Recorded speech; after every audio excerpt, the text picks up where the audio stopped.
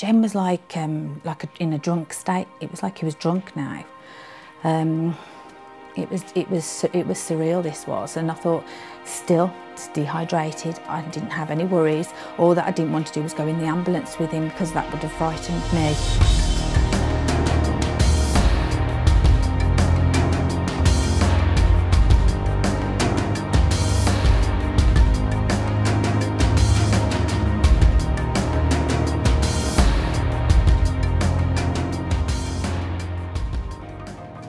In the early stages, sepsis can simply look like a bad case of flu. Patients feel very tired, their muscles might ache, they might take themselves to bed.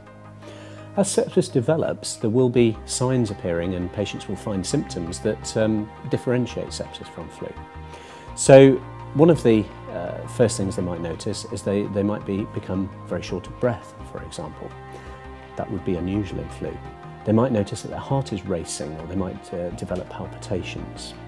They might notice that their hands and feet become extremely cold, uh, or have a strange colour or a strange rash, or the skin might look mottled or marbled in appearance.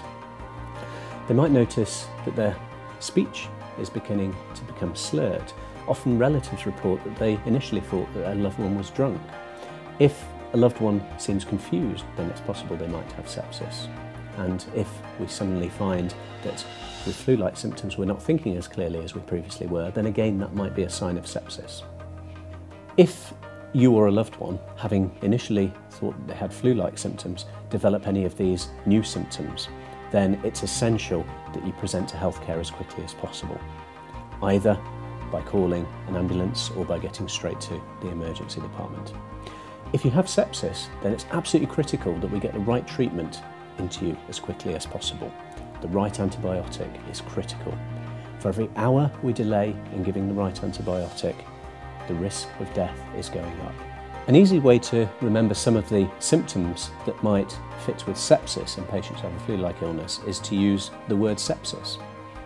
S for severe shortness of breath can be a common feature. E for extremities, hands and feet can be extremely cold. P for palpitations or a racing heartbeat.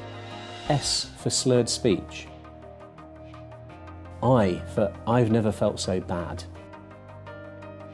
And S for shivering uncontrollably. We call this rigors and it can be associated either with very high temperature or very low temperature.